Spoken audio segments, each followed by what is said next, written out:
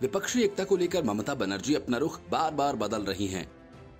पंचायत चुनावों के बाद ममता बनर्जी ने साफ़ कह दिया कि यहाँ गाली और वहाँ दोस्ती नहीं चलेगी।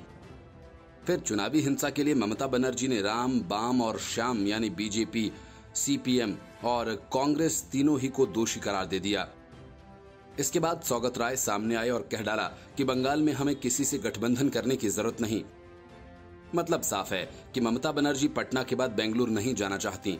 लेकिन अचानक अपनी बातों से पलटकर ममता बनर्जी ने ऐलान कर दिया कि वे बेंगलुरु बैठक में जाएँगी।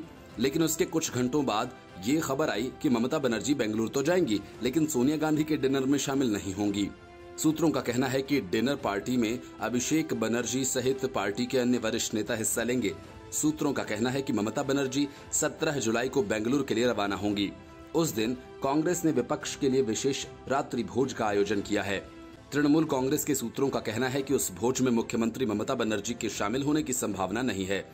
सवाल ये है कि ममता बनर्जी पहले ही कह चुकी हैं कि वे बंगाल में गठबंधन नहीं करेंगी। तो क्या ममता बनर्जी दूसरे राज्यों में सीट के लिए कांग्रेस से मोल भाव करेंगी और क्या कांग्रेस इसके लिए तैयार होगी?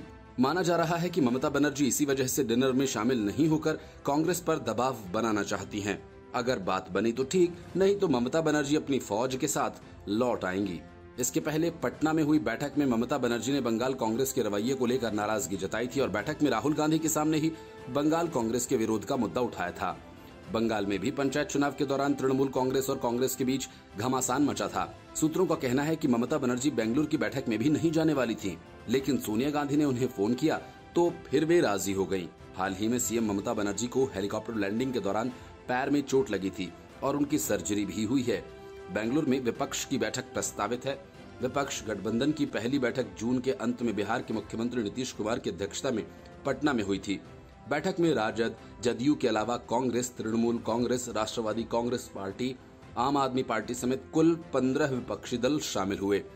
बैठक में गठबंधन पर सहमति नहीं बन पाने के कारण विपक्षी दलों ने एक बार फिर मिलने का फैसला किया। 18 जुलाई को बेंगलुरु में बैठक का आयोजन कांग्रेस कर रही है।